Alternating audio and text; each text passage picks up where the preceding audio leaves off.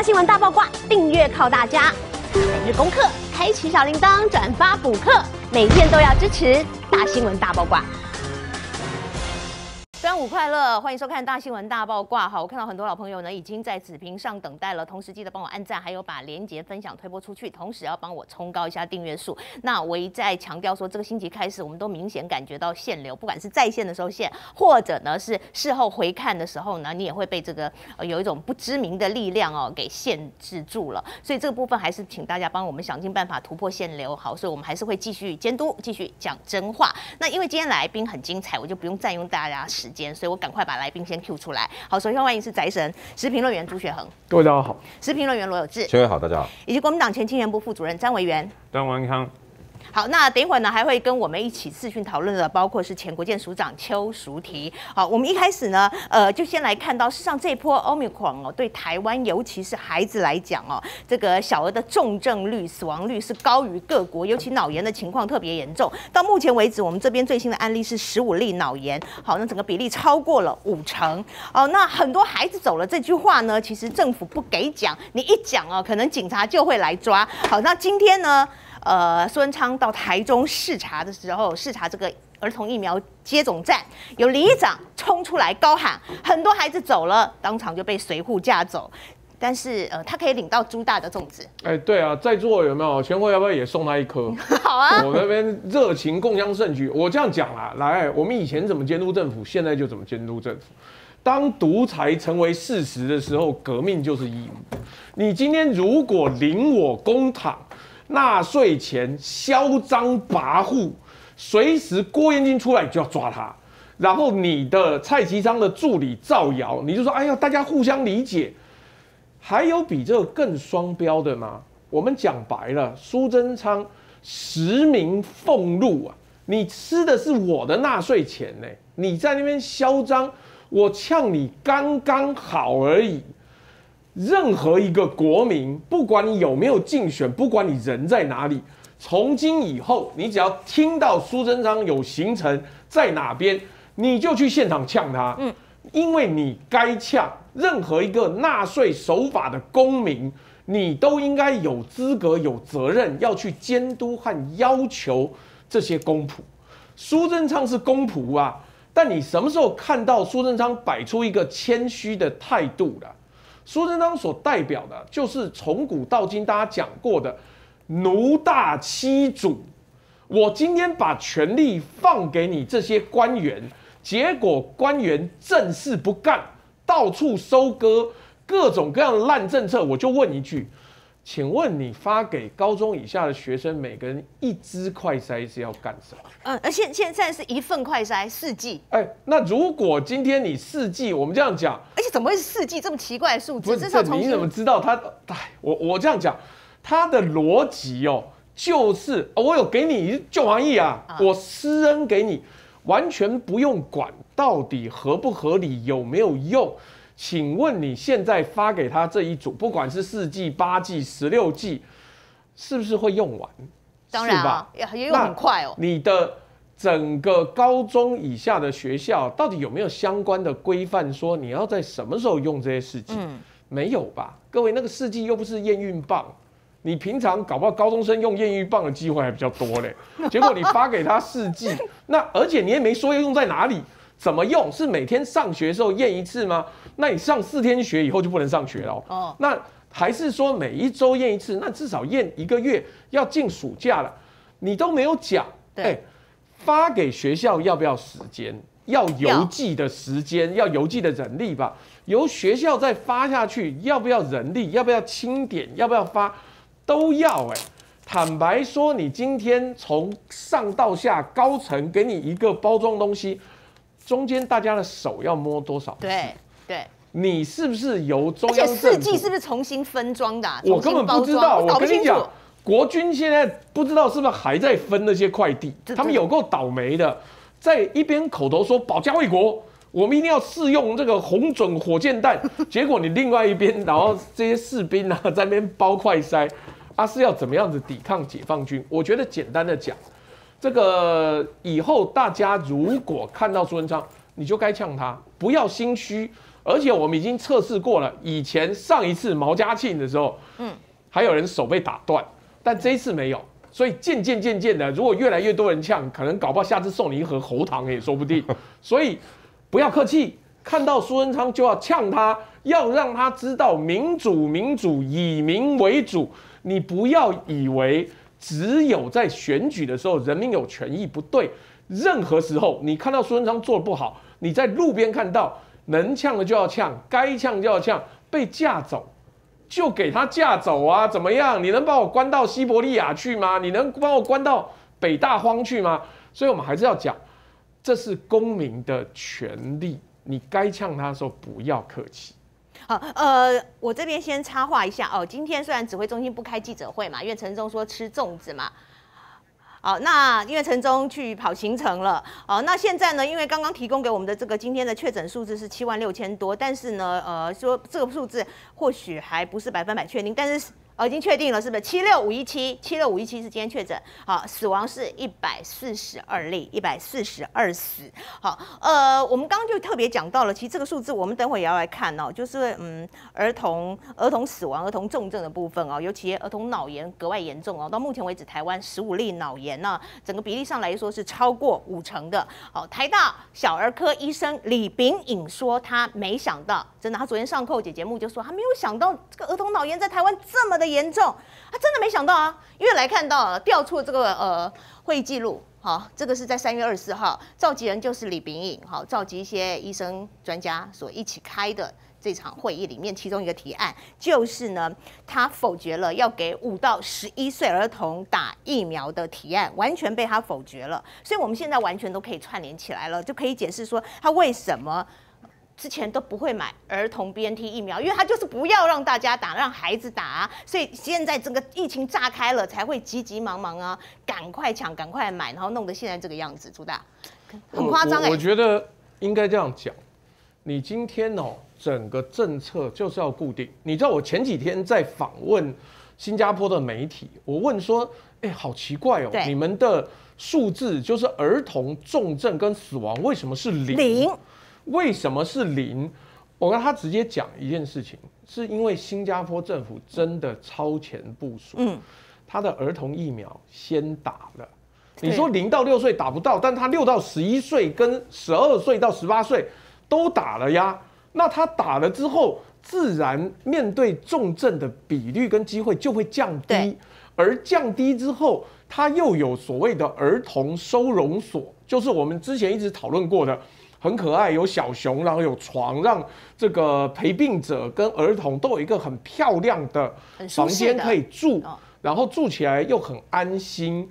那自然而然，你让他身心状况都有受到保护的时候，可是他们前端就是一个重点，就是有先打疫苗。是，我们就说我疫苗打得快。李炳颖说不要，他三月二十四号否决的。这个真的很荒谬，是儿童疫苗从去年十一月。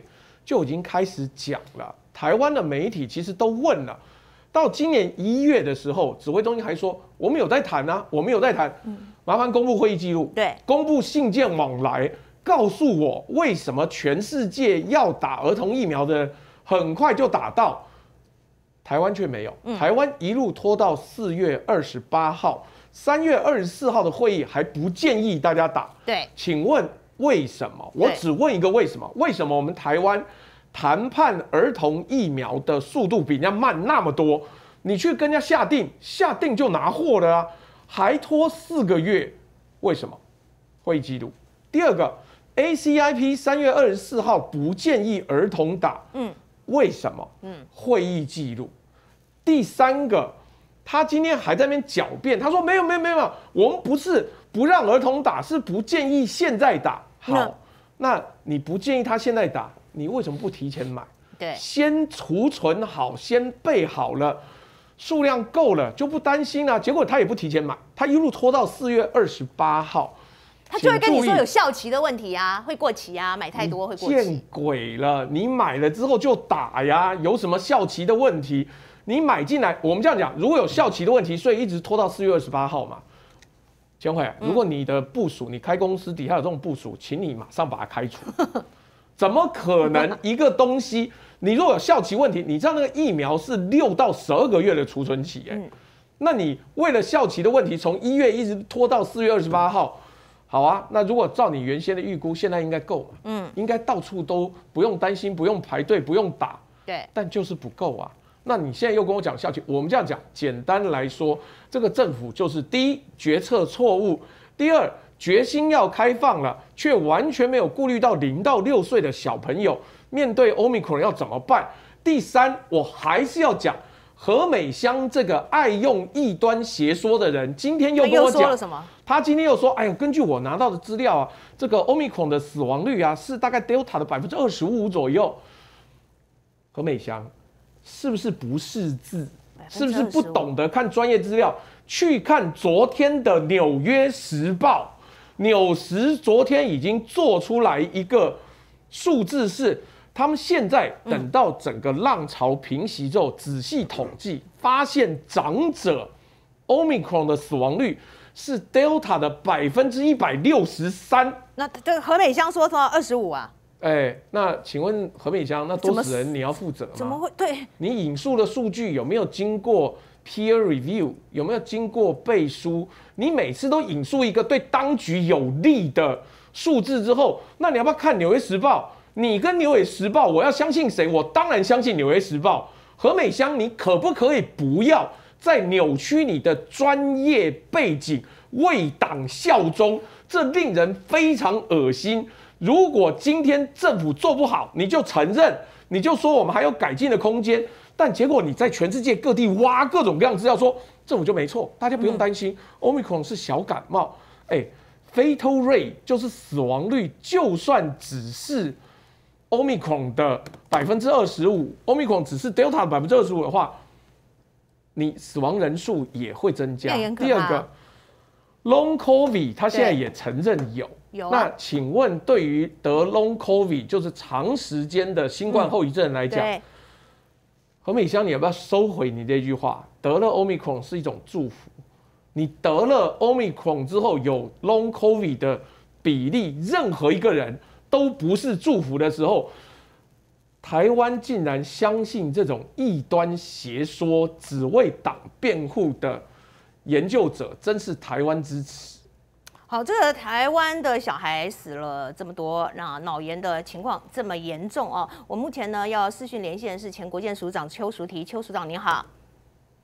啊，你好，各位观众朋友，大家好。那我想首先就请教署长的是说，我不懂哎，为什么这些呃在现场三月二十四号开那场会议的这个专家医生们呢，呃，最后李斌的决议是说不建议这个五到十一岁的儿童打。疫苗为什么不给他们打疫苗？到真正的原因是什么？然后呢？问题是，他三月二十四号否决了打疫苗这件事情。那四月一号呢？台湾就开放新台湾模式，要与病毒共存。那你又不给孩子打疫苗，好，那结果呢？现在这个脑炎状况闹得这么大，才急急忙忙的开放说好。那那前面前端还没有儿童 BNT 的时候，就说那我们打成人莫德纳。可是莫德纳这部分在美国其实没有开放给孩。童打的，署长。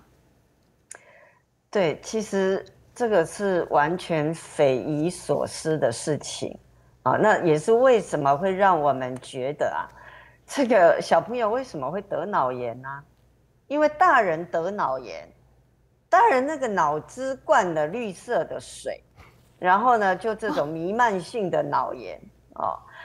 刚刚呃，就会讲完全没有错，就是说他是。莫德纳在美国啊，是六月十四号才刚要审，它用于六到十一、六到十八岁。好，他连这个十二三岁这些他还没有。对。那么六月十五号呢，则是要审六个月以上的，好，包括 B N T 跟莫德纳。但是呢，其实六岁以上的莫德纳，美国根本还没准，哦。那大家知道澳洲有准，但澳洲很紧张啊。哦，他要求要隔八个礼拜，啊，六到十一岁打莫德纳，他们是要隔八个礼拜，因为他们还是担心说用成人一半的剂量会不会太猛了啊，所以是很小心的在处理。那所以就是莫名其妙说你有别人已经等于有第四期的试验的资料嘛？所谓第四期，就是你已经核准了，然后大规模施打以后的安全性、有效性数据都已经有了，是在 real world 的资料的，是 BNT 用于五到十一岁的数据已经有了，美国跟以色列跟非常多国家已经有了，你却不准他，你把它 turn down。你不给小朋友打，然后呢？你熊熊等到政府呢突袭，突袭全民，突袭地方政府，突然宣布一个新台湾模式，没有准备儿童疫苗，没有备妥药物，连大人的药物都没有，没有备妥医疗资源，没有贾永杰神器，没有单株抗体，什么都没有的情况下，突袭大家。突袭了以后呢，在家长的怒吼之下，才熊熊去准了这个莫德纳疫苗。但是这个莫德纳疫苗，就算你准了，你你光是跟 B N T 你说五到十一岁，其实你还差了五岁这个年龄层。那五岁以及五岁以下为什么很重要？因为大家在讲儿童的神经系系统的侵犯。虽然是十八岁以下都有机会，但是是最常见的就是五岁以下。嗯，包括香港的数据都是这样子告诉我们，所以我们觉得是等于你在暴风雨的时候开门，而我们的小朋友是没有穿雨衣的，我们大人还有雨衣可以穿，小朋友没有穿雨衣，就让他暴露在病毒的枪林弹雨之下。而且不要忘了林世璧是怎么样在骂陈文茜女士，就是说你的抗病毒药物小朋友也是不能用的，抗病毒药物小朋友不能用，你最起码要给他打疫苗啊，连疫苗都不给他打，然后熊熊开放，所以我们高度怀疑，说大人得了这种绿色脑子的脑炎，那他就把疫苗也染色吗？对不对？你为什么不准备 BNT？你为什么宁可去用美国爸爸还没有准的莫德纳来给小朋友打？这个除了用政治来解释以外，我想不出还有什么科学上理由啊！所以我也认为是应该要公布。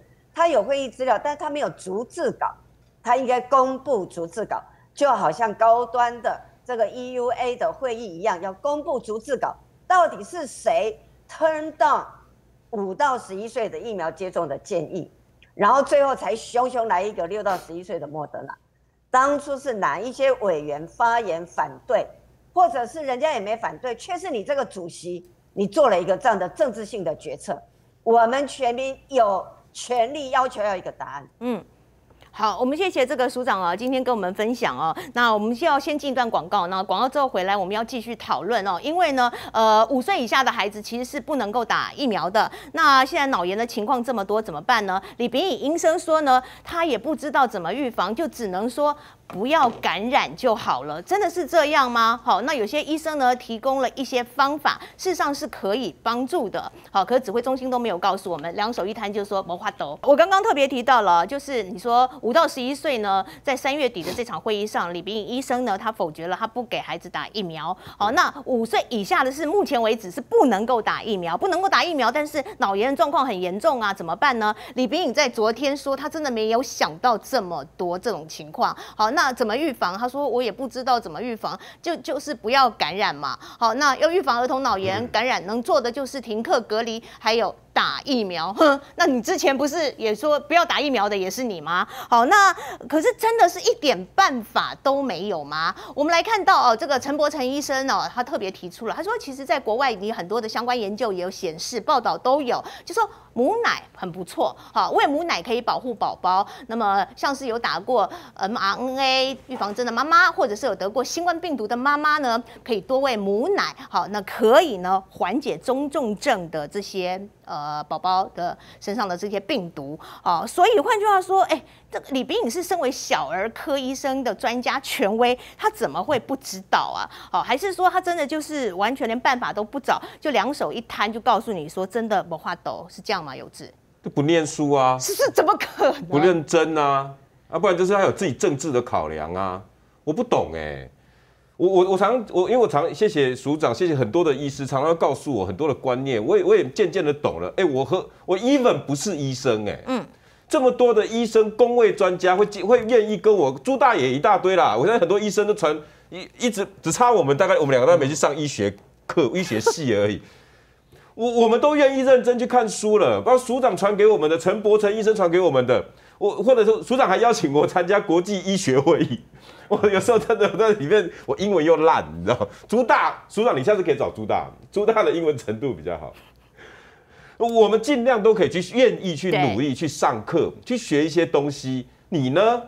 你为什么会讲出这些前倨后恭？前面说不用打疫苗，三月二十四号，然后四月十三号就新台湾模式。嗯，所有的小朋友，然后五岁以下的，侧翼再带一个什么风向？嗯。哪有疫苗给五岁小孩子直接打？就算 B N T 进来也救不了他们啊！你看，你你像之前有没有这些言论？不是这样子想法的。你你问这些工位专家嘛？那叫保护罩。我们旁边的五岁以上的，我们的大人尽量把自己保护好，那不就是五岁以下小孩子最好的防护罩吗？嗯。你现在是把所有防护罩拆掉，哎，对，而且不但拆掉，那一根一根的栅栏还拆，快筛拆，儿童疫苗拆。然后那个那个抗病毒药物拆，什么都把它拆掉，然后让所有的小孩子直接面对这个猛兽。你有叫他逛动物园的，多可怕的一件事情！所以署长说这是政策杀人，一点都没错啊。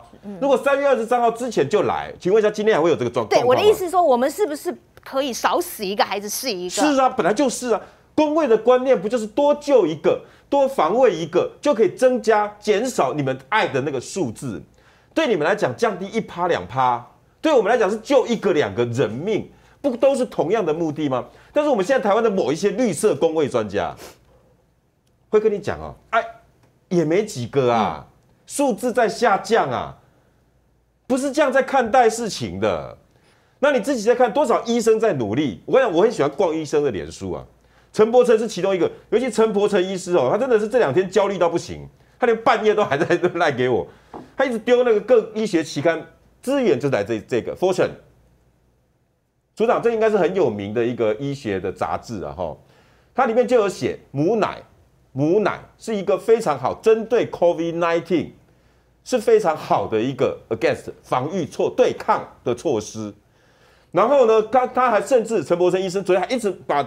把资料一直传传了二十几封给我，把这个这个杂志啊一个一篇把它截下来，然后一个一个中文翻译给我看，里面还特别写到有英这个杂志已经有有有有人在讲了，如果打 mRNA 嗯。的妈妈，对，它出来的母奶甚至对中和这些 COVID-19 的病毒嗯很有帮助，对。哇，我们陈伯成医师已经找到这个地方去了。在李炳颖说无药可救，李炳颖说没办法，双手一摊的时候，这些医生还在努力。嗯，陈伯成医师是加医科医师，他现在还在找方法。对，结果找到这个杂志，找到这些期刊，有我们这个电视墙上面都有列出来，对不对？他努力的找，你看这些红线都是他圈的，对，一个一个的帮大家找方法。然后呢，他甚至还把卫福部之前的资料，你刚才给大家看的。母奶确实对对上下呼吸道有帮助。有，我本政府说的哦，不是他说的哦。卫福部说的哦。我就是千惠，我有我有气喘病，从以前我你看我出生多久了？我今年才二十八岁啊，二十八年前。假新闻要抓起来。这这句话讲的那么认真啊？好了，三百万。张委员很认真嘞，五十年以前了，好不好？几年前的医生。就已经劝我母亲说，她有气喘，那你尽量让她喝母奶，有助于她的抵抗力。几年了，你丙乙，你告诉我没办法。陈柏成不是找到了吗？而且世界各国的医学期刊杂志都已经在做了，大家都在努力。耶。结果我们庙堂之上 ACIP 的主席，然后我们这些卫福部的双手一摊，没办法。啊嗯，小孩子阿公阿妈，你要自己想办法啊。嗯，这不就是让我们最生气的地方吗？你看这些我们台湾的这些有良心的医生，拼命的当帮大家找解药。我们现在呢上位的人拼命放毒药，我觉得这就是最可最可悲、最怪的一件现象。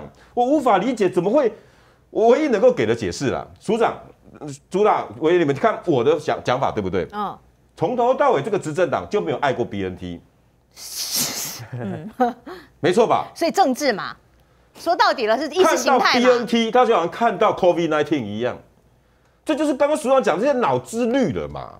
你看到每个都邪恶的，你只要跟 BNT 有关的都是邪恶的。你看从李炳李炳颖嘴巴讲出来对 BNT 的嫌恶几次了？嗯，郭台铭要买，哎呀，那个都过期的啦。对陈时中怎么说？这大陆分装的啦。对那今天署长又给我们最新的资料，三月二十四号不安全，有没有？对对可是后面的理由是不是写不安全？对，现在安全还有疑虑，而且现在他叫大家赶快打、然后现在在说跟跟大家赶快打，他昨天叫大家赶快打疫苗啊，不安全然后蔡英文总统今天发影片说过端午打疫苗，所以我们的 CDC 比法国的 CDC 厉害。你看去年二零二一年十一月已经在打了，我们的 CDC 比韩国的 CDC 厉害，韩国二月份都已经在打了，比新加坡厉害，连一个小孩都没死，这什么什么东西啊？然后我们现在台湾人不生气，还在说防疫好棒棒，还可以任由他在外面说我们现在防疫做得非常好，我我不懂哎、现在现在到底台湾人是怎怎怎么了吗？这么清楚明白的一个人，然后你对比正在大声疾呼的这些工位跟有良心的医师，很明显了嘛，他们就是看什么都是绿。BNT 到底哪里得罪你了？只不过一个叫上海复兴没了，BNT 本身就是 BNT 嘛，它就是个疫苗，它就是医学期刊千锤百炼，现在大家都还在研究的。以色列第一时间就已经用几百万人的数字给你看了。那你现在到底讨厌 BNT 讨厌什么？你要不要李炳颖亲自飞到以色列去，去看看人家怎么把这些资料做出来的？几百万的 data，你自己所你你从以前看医学期刊，从 Lancet 从英格兰期刊看这么大了，你难道不知道这些都是千锤百炼的吗？你可以在庙堂之上可以讲这些所有工位专家医生看不懂的话，那你还可以灭着自己的良心，包括何美香，包括李炳颖，包括陈时中，你们这些人，你去调刚刚那那那上面的，我想请问林奏炎院长，你也在里面呢、我想请问许琼新副院长，你也在里面呢、我想请问一下李文生，你们这几位都是很有名的大医师啊、大专家啊，你们有没有一起赞成李炳颖这一个三月二十四号荒谬的政策？有背书哦，你们都背书喽。今天每一条小孩子的人命，很可能都在你们手上哦。你当年的这一篇文章，署长给看的，你们所有签名的人，一人背一条人命，你愿意吗？你敢不敢？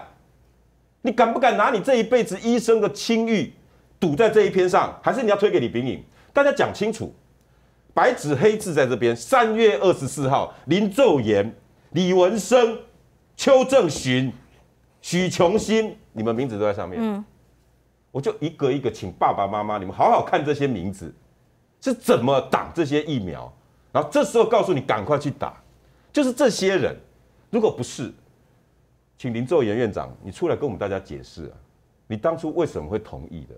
你为什么三月二十号你不在这次会议的时候报告主席，我们把孩子的疫苗买完，我们再开放好不好？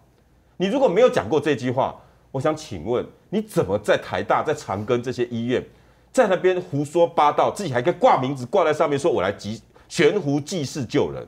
好，距离现在其实才不到三个月哦，就在三个月前呢，事实上在打儿童疫苗进来的。好，那除了儿童疫苗之外，其实呢，呃，最近跟很多家长还有孩子息息相关的就是这个唾液快筛。那昨天这个消息爆出来之后，我身边有一些妈妈本来要去买这个福吉美唾液快筛，她突然 hold 住了，想说我我再看看吧。好，因为呢被踢爆说验不出 Omicron 病毒，那因为原厂的说明书啊，呃，你可以验出什么都有，什么呃贝塔、伽马、Delta、阿法。什么通通都有，就是毒漏 Omicron。那这个部分当然第一时间呢，不管是福吉美或者是陈时中都出来解释了。那陈中说有啊，他这么送过来测试的时候，我们自己有测出是有病毒的。呃，那呃福吉美呢也说有啊，有检验报告是有的。好，但是我们到现在为止只看到了非常简陋、非常阳春的声明稿。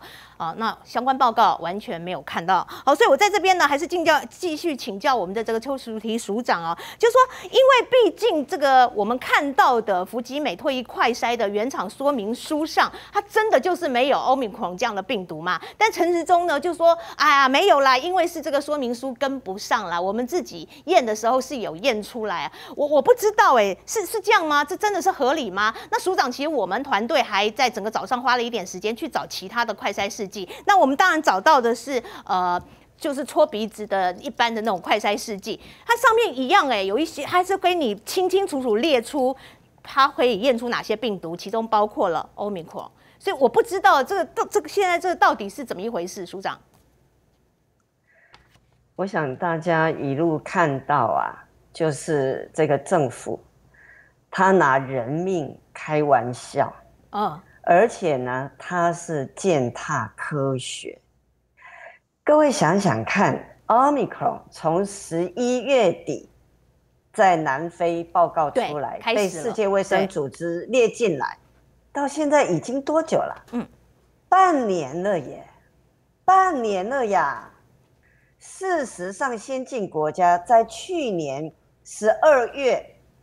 就像美国 FDA，十二月底就已经完成了所有的，包括唾液跟鼻腔的抗原快筛，嗯，还有呢核酸检验，包括 PCR 跟其他的核酸检验的校对工作，校对工作，你要确认你的检验试剂。面对新的变种，是不是一样准确？有没有办法验得出来准不准确？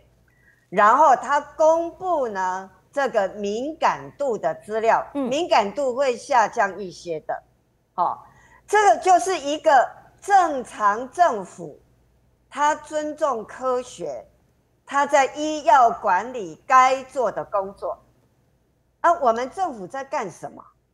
对不对？我们政府准了这个第一家，然后呢？你看他的访单，嗯，这这家活着吗？六个月了耶，你访单都还没改呀？对。如果政府你有做，你给我们看数据啊，嗯，你给我们数据嘛？几月几日做的数据是多少？对不对？对。但是就算你政府有数据。你这个，你这一家到底是代理商是在干什么？原厂在干什么呀？你卖我们台湾多少钱呢？你连访单你都不改，对不对？这简直就像一个过期食品一样，谁敢吃啊？这整个啊怎么会这么赶？你的水准怎么会是这个样子？但是你又怎么会这么赶？半年了，这是一家什么样的公司？怎么会搞这种乌龙啊？对不对？所以这个就是践踏科学、践踏生命。那你一个国家连医药管理都可以躺平式的乱来，我再补充一下，刚刚讲到母乳是国人从来不知道，这我们呐把委屈这个委屈都吞到肚子去的，就是我个人一路哦。从宜兰县卫生局，嗯，到台北市卫生局，到国民健康署，我们积极推动母乳哺育，嗯，世界卫生组织跟美国儿科医学会建议，用纯的母乳哺育，要哺育到六个月，减少呼吸道感染，减少肠胃道感染，小朋友智力发育比较好。你们知道以前谁反对最用力吗？嗯，你现在期待他们会告诉你。这个药方啊，天然药方，你免笑想啦。反对最用力的，就是李炳颖哦，他那那时候在做儿科医学会秘书长，林昼延那时候在做卫福部的次长，就逼着我们说，不可以零到六个月，要用零到四个月，不可以多吃那两个月。李炳颖还说什么会软骨症。哦，然后呢？林奏言逼着我们去改，我们依照世界卫生组织跟 UNICEF 定的母婴七三医院的标准，要我们去放宽，甚至要求我们就干脆不能再评鉴。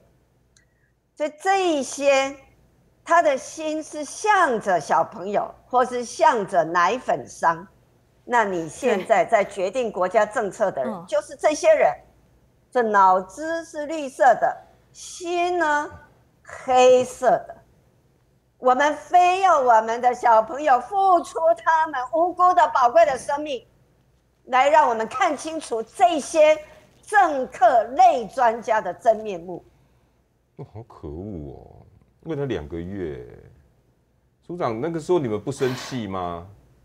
当然是生气啊！但是林周也是次长啊，他压着我们，我这个小小的官，很多人还以为我做政务政务官，不是我当然是事务官，我上面一堆长官，但是大部分的长官都非常好，但是就有遇到这一种的哈，嗯，所以他这个民进党执政还拜托他继续当，你看看 做的很成功啊，嗯，好，可是。对，署长讲出真相哦，我们真的是觉得，身为家长的真的是毛骨悚然哎，他们有真的心向着小孩子、小朋友吗？好，非常谢谢署长啊，今天提供给我们这么宝贵的意见哦。的确，因为署长说你是向着奶粉商、向着业者哦，还是向着孩子们？唾液快筛不也是这样子？好，尤其呢，回到这个，哎，现在被大家翻出来了，你就是在两个多月以前，原来你是党。儿童疫苗的那呃，我刚一直在讲说，如果及早开打的话，到底可以救多少个孩子？好，可是呢，现在搞到了一发不可收拾。那么李炳颖才在那边说没想到，而且呢，请导播给我们上一张，因为李炳颖还在拿出长病毒时候来跟我们说嘴。好，他说一九八八年长病毒七十一型疫情为例，一直都没有疫苗啊，直到最近国内才研发完成，所以没有疫苗的做法就是采取停课隔离措施。目前新冠。疫情也是采取这样的做法，可是问题是，儿童 BNT 久早就有啦，委员是你不买啊，不是吗？那结果他现在又拿这个东西来跟你混为一谈，我觉得有点生气啊。先讲一下，这个三月二十四号在做这个卫福这个记录的时候，当时国内疫情是有十五例本土案例，好像没有很多，但当时其实有一例人本土案例，大家都觉得叫娃娃，大家觉得哇好恐怖哦。当时哦，本土案例十五例里面不是没有小朋友。当时他指挥中心给的新闻稿是十岁到八十岁，换句话说，当时已经有小朋友确诊。好，同一天你有小朋友确诊了，你在开这个专家会议的时候，告诉大家说暂不建议五到十一岁儿童接种 COVID-19 疫苗。好，三月二十四号，你当时不建议，这样我们要的是会议记录，要谁去做这决策？再来，我还有一个疑问，就是说。当时不介意，那请问现在为什么建议了？对，那你转折的点是什么？哦，可能大家觉得说，哎，因为现在疫情爆发，因为大爆啊，脑炎这么严重，没想到啊。对啊，如果这样子的话，很简单嘛，指挥中心跟这些专家学，就是等疫情爆我才要亡羊补牢嘛，我才要赶快赶快开放这儿童疫苗进来，我赶快买哦，四月二十八号才开始买。你买雾化器呢，会送你水神。那么家里面哈，八平以上的、五到六平的，或是小平数，都有不同的选择。它的雾化时间大概从四个小时到八个小时不等。怎么买？快点购 QR code 扫一下，记得哦，帮我输入 CTI 二八五，这是我们辣晚报的团队代码。